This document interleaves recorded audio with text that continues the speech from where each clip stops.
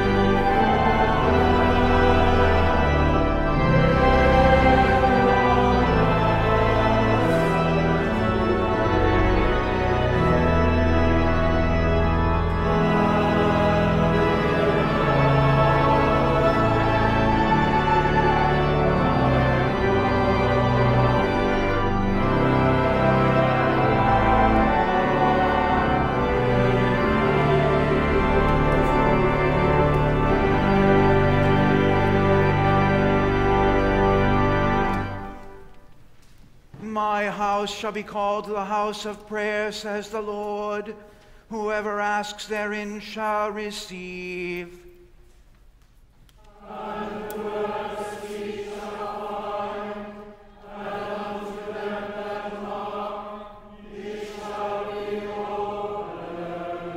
Let us pray. We humbly entreat you, O Lord, to send down upon our hearts the healthful spirit of your grace, and that our lives may be fruitful in your name. Pour upon us, we pray, the inward dew of his blessing. Through Jesus Christ, your Son, our Lord, who lives and reigns with you and the same Holy Spirit, one God, now and forever. Amen.